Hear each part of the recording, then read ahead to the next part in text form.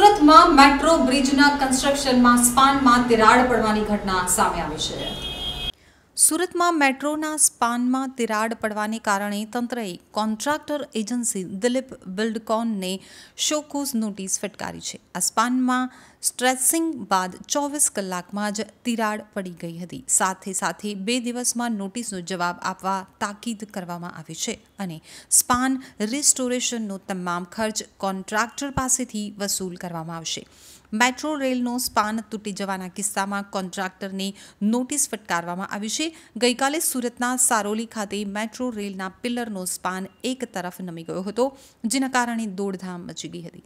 ટ્રેકમાં pillar number સાતસો સુડતાલીસ અને સાતસો અડતાલીસ વચ્ચે નાખવામાં આવેલા સ્પાનમાં તિરાડ ટ્રેસિંગ બાદ ચોવીસ કલાકમાં જ તિરાડ પડી ગઈ હતી. સ્થાનિક લોકોએ આ બાબતે ધ્યાન જતાં તંત્રનું ધ્યાન દોર્યું હતું અને તંત્રએ તાત્કાલિક ધોરણે નોટિસ આપી જવાબ રજૂ કરવા જણાવ્યું હતું. તો સુરતના સારોલી ખાતે બે દિવસ પહેલા મેટ્રોની બ્રિજનો સ્પાન એક તરફ નમી ગયો હોવાની ઘટના બની હતી. ઉપરાંત કામગીરી દરમિયાન જ સ્પાનમાં તિરાડ પડી જતા અનેક સવાલો ઊભા થયા હતા. આ મામલો સામે આવતા જીએમઆરસીએલ દ્વારા ટેકનિકલ ખામીનું કહી લૂલો બચાવ કરાયો હતો. જોકે હવે આ મામલે કામગીરી કરનાર દલેબ બિલ્ડકોન કંપનીને નોટિસ પાઠવી છે અને બે દિવસમાં જવાબ રજૂ કરવા આદેશ કરાયો છે. સાથે જ દિલ્હીથી ટીમ બોલાવી વધુ કામગીરી હાથ ધરાઈ છે.